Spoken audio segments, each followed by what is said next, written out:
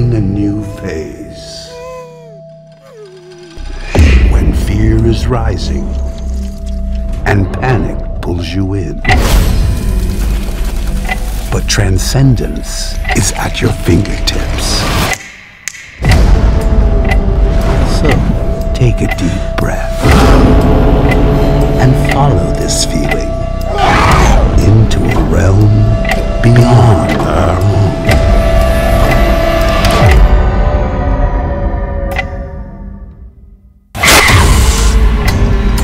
What clarity can you gain?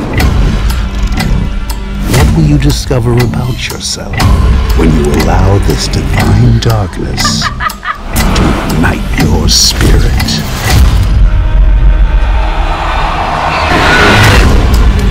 This is your sign to claim this energy and embrace